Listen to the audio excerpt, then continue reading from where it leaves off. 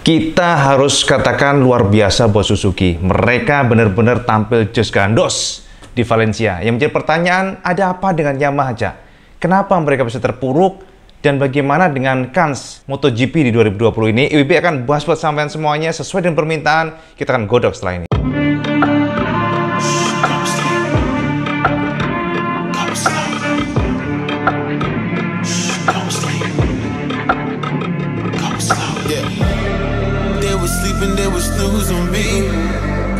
Dreaming about what food to eat. Why they sleeping, why they snoozed on me? I was seizing opportunity. Now they don't know what to do with me. I keep going hard like I'm in puberty. Rebellions in my blood, there ain't no ruling me. I'm Coming for the top, this is a mutiny.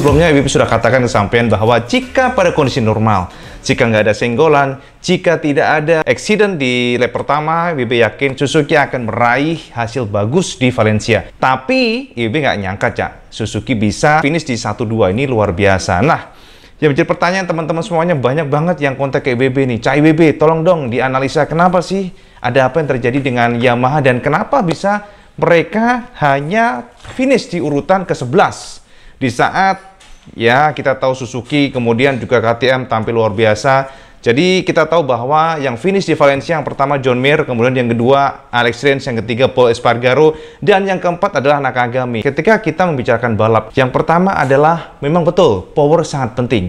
Jadi power itu utama. Jadi kalau sampai nggak punya power, top speed kalah dengan lainnya pastinya ya kan. Jadi power is very important, but not number one. Jadi yang penting Balap MotoGP adalah balancing. Jadi balance ya. Mana motor yang paling balance itulah yang biasanya juara. Yang kita katakan di sini balance adalah tikungan mantap, power just gandos dan juga controllable. Jadi bisa dikontrol, handlingnya bagus dan saat ini bisa kita pastikan Suzuki Jessic RR is the number one at least sekarang ya. Jadi Jessic RR adalah motor terbaik di musim ini. Ini menurut IBB ya kita bisa lihat dari bagaimana performa mereka. Suzuki cak tanpa satelit tim. Bayangkan aja tanpa satelit tim tapi mereka bisa menguasai konstruktor dan tim. Sekarang konstruktor udah dikuasai loh dengan Valencia 12 jadi konstruktor dia sudah menggeser dari Ducati. Unggul 7 poin. Dari sebelumnya Ducati yang leading setelah Ducati menggeser Yamaha karena Yamaha kena penalti. Tapi di Valencia berkat John Mir dan Alex Rin uh, juara 1-2 akhirnya mereka menggeser Ducati, termasuk dari tim juga. Jadi Suzuki X-Star tanpa satelit sekali lagi mereka berhasil menguasai. Ditambah sekarang klasmen rider sudah 37 poin leading makin menjauh dibandingkan dengan Fabio Quartaro. Yang menjadi pertanyaan adalah bagaimana Suzuki bisa sejauh ini? Oke, Cak. Kalau kita membicarakan mengenai Suzuki sebenarnya tidak lepas dari solidnya tim ini, Cak. Kita tahu bahwa DNA Suzuki memang motornya kencang. Dari dulu Suzuki itu kita ngomong Mas Pro-nya aja ya. Motor Mas Pro-nya aja beda. Ketika zaman IBB nih, zaman masih muda, tahun 90-an, kalau sampai nunggang Suzuki itu, waduh, rasanya tuh kayak ini adalah motor kencang gitu loh. Jadi ya, tahun 90-an kita ya kita sebenarnya nggak ada hubungan sama MotoGP tapi kita ini aja mengat apa ya membicarakan atau atau kita bahas mengenai sesuatu hal yang yang memang jamak. Maksudnya yang sesuatu hal yang ada hubungnya juga karena ini mass production. Mass production itu interpretasi dari sebuah pabrikan yang memiliki kemampuan untuk membuat motor kencang, ya kan? Jadi pertama dulu tahun 90-an kalau sampean tahu kan dulu ada RGR, kemudian Crystal, ya, kemudian juga motor-motor yang yang Suzuki punya itu rata-rata memang kencang dari sononya. Belum Satria di tahun 2000-an ya kan. Nah, itu juga yang apa ya? sebagai refleksi bahwa motor ini memang kencang. Ya, jadi RGR itu kencang dari, dari zaman waktu masih lebih muda itu ya memang kencang sebelum akhirnya uh, Honda mengeluarkan NSR dan juga Kawasaki mengeluarkan Ninja. Ya, di saat itu juga Suzuki sudah mulai sedikit pelan-pelan sih. Mereka sudah tidak lagi serius di R150 cc 2 tak. Kembali lagi MotoGP. Pertama, Cak. Yang menjadi kekuatan Suzuki adalah frame. Nah, ini menarik nih kok Cak IBB bisa tahu deh? Ya tahu lah, IBB kan pernah sempat diundang oleh Suzuki X-Star, Alhamdulillah ya. Jadi IWB diundang ke dalam pedok mereka. IWB melihat secara langsung bagaimana motor mereka, bagaimana kinerja dalam tim X-Star ini, dan mereka ramah sekali. IWB disambut dan mengajak IWB ke dalam. Jadi IWB melihat secara langsung di dalam pedok tersebut. IWB uh, eh, waktu itu sempat ngobrol dengan PR-nya, PR-nya dari MotoGP itu Mr. Alberto kalau nggak salah. Jadi waktu IWB ngobrol, Mr. Alberto, bagaimana dengan Suzuki? Karena Suzuki kita lihat sudah semakin meningkat. Tapi waktu itu memang belum lah e, juara satu belum. Jadi masih ya top 5 ya kadang-kadang nyodok di top 4 tapi kadang-kadang terlempar lagi. Tapi di sana kelihatan banget bahwa ini kansel luar biasa. Walaupun dia menggunakan mesin inline yang baru, totally baru. IB katakan baru karena sebelumnya Suzuki itu mengadakan motor MotoGP menggunakan V, Cak. Jadi V ya, seperti Honda, KTM, uh, Ducati itu jadi tipe V, GS, GSV.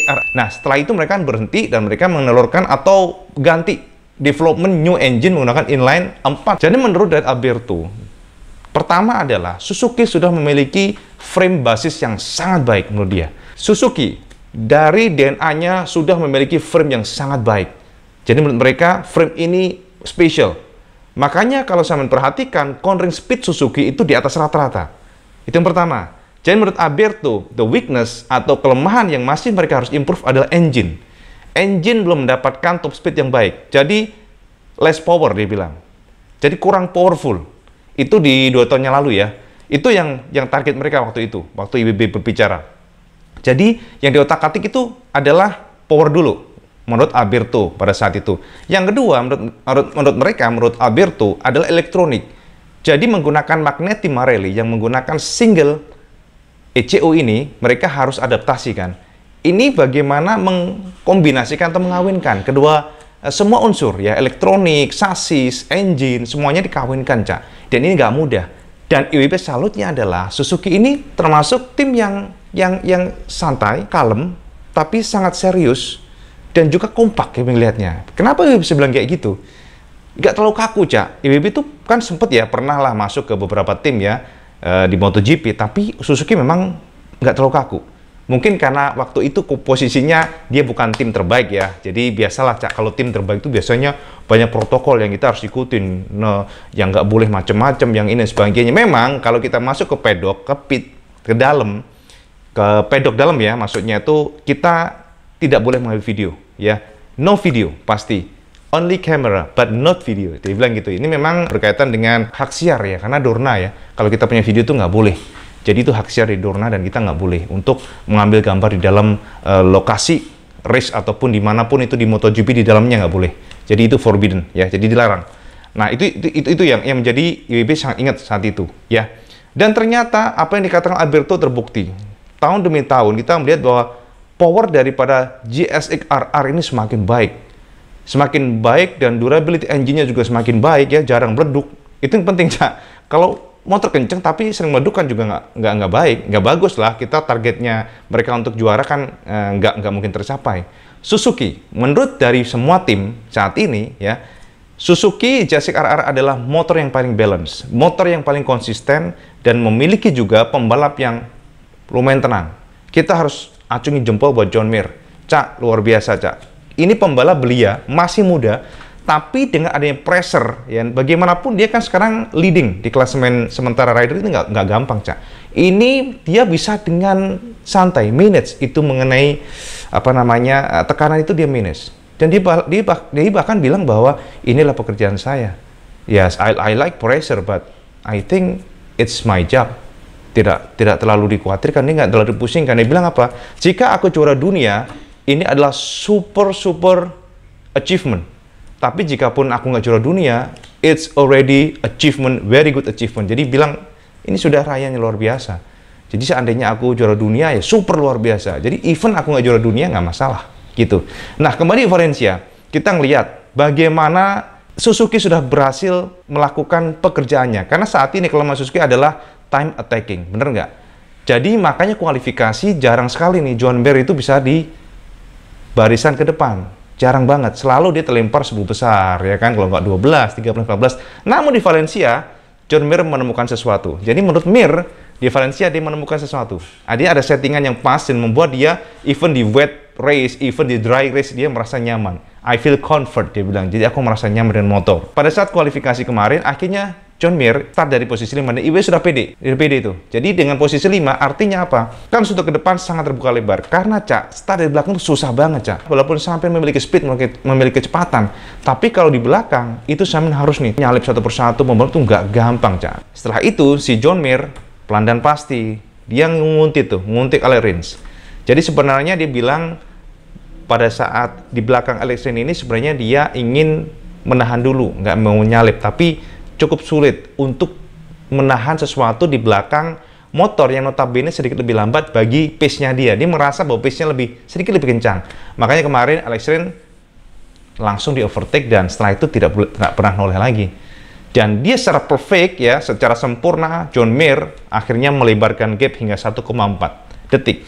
Dan ini luar biasa. Sekali lagi, dia sangat matang, John Mir, disokong oleh motor yang juga sangat-sangat sempurna untuk saat ini di Valencia ya. Jadi yang penting adalah ban, Cak. Waktu kemarin itu John Bear menggunakan tipe medium. Tipe medium ini Ibu rasa cukup pas dengan suhu kemarin. Karena kita lihat Franco Morbidelli memutuskan menggunakan ban tipe hard hard, jadi keras slick, slick hard. Jadi ini tipe keras kedodoran.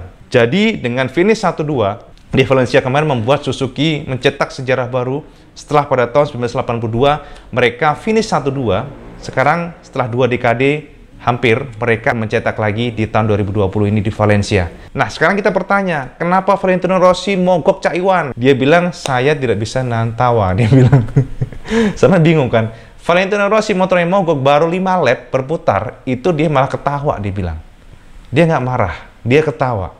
Ketawanya apa ya nggak tahu cak. Batinnya Rossi bung gondok apa saking saking apa ya ngakaknya apa saking frustasinya itu nggak tahu. Tapi yang pasti menurut Valentino Rossi dia sebenarnya hanya ingin mengasah kembali feeling berkendara dia, feeling membalap dia, ya. Makanya dia I want to enjoy my race, tapi hanya 5 lap. Jadi ya memang apes. Kemarin ada masalah apa sebenarnya? Dipastikan kemarin Valentino Rossi mengalami problem elektronik. Dan ini, Cak, problem elektronik tidak pernah terjadi di Yamaha selama 12 tahun, bayangin aja. Baru kemarin terjadi. Coba semen bayangin betapa carut marutnya sekarang pabrikan garpu tala. Kasihan juga sih sebenarnya. Karena mereka memiliki empat pembalap bagus. Nggak ada yang jelek semuanya. Franco Morbidelli, Fabio Quartararo, Valentino Rossi, Maverick Vinales. Ini bagus semua aja. Tapi karena problem dengan motor, mereka tidak bisa optimal. Termasuk Fabio Quartararo juga apes. Fabio Quartararo itu crash gara-gara Alex Spargaro. Jadi dia waktu Alex Spargaro nikung ke kiri, ternyata crash pas banget di dekat sama dekatnya Fabio Quartararo yang di belakangnya dan secara refleks cak bagaimanapun orang kalau istilahnya ada yang keras di depan sampean beberapa meter beberapa inci lah bukan, bukan inci sih. Mungkin setengah meter atau satu meter pasti sama secara refleks itu narik tuas rem. Dan itu terjadi pada Fabio Quartararo yang membuat karena narik tuas rem itu membuat dia crash. Seharusnya kan pada saat nikung nikung ekstrim kayak gitu nggak diperbolehkan mengerem ban depan ya jadi ngeremnya itu seharusnya sebelumnya. Jadi kan kalau kita apa ya kalau kita uh, race gitu cak ya ya kita kan IWB kan sempet lah merasakan di atas sirkuit. Itu sebisa mungkin di tikungan itu ketika rebah jangan sampai tarik tuas rem jangan sampai. Jadi kita breakingnya sebelum kita masuk tikungan. Baru setelah itu masuk tikungan kita gantung. Jadi gitu. Nah kejadian Fabio Quartararo demikian. Dan celakanya cak ketika dia balik lagi untuk mencari poin device hitnya seat hitnya jadi device untuk startnya kan tahu kan sampai bokongnya itu motor sekarang ada device untuk naik turunin bokong biar nggak gampang willy itu ternyata problem. Jadi setelah crash itu dia jadi kayak kadang-kadang ngelok ke bawah membuat motor jadi kayak deprok ke belakang. Itu yang membuat dia juga nggak bisa membalap dengan sempurna. Franco Morbidelli, kenapa dia turun? Franco Morbidelli dropping, ya, jadi drop kan dari 8, kemarin kan finishnya ke 11. Itu problem dengan tekanan banca. Ini terjadi juga pada Fabio Quartararo sebelumnya. Dan sekarang menimpa si siapa Franco Morbidelli. Mana wae cak yo, wes panjang lebar sampai mimiren.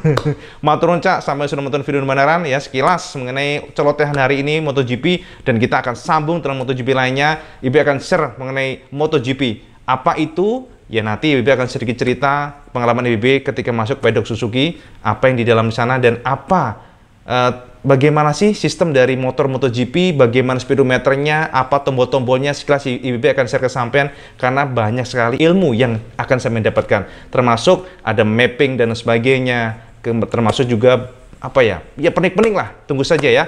Kita akan bahas nanti. Ngono wae, Maturun sama sudah menonton video beneran. Jangan lupa semangat like, share, dan subscribe. Dan jangan lupa juga sampai sholat waktu itu yang paling penting. Assalamualaikum warahmatullahi wabarakatuh. Salam Jos Gandos.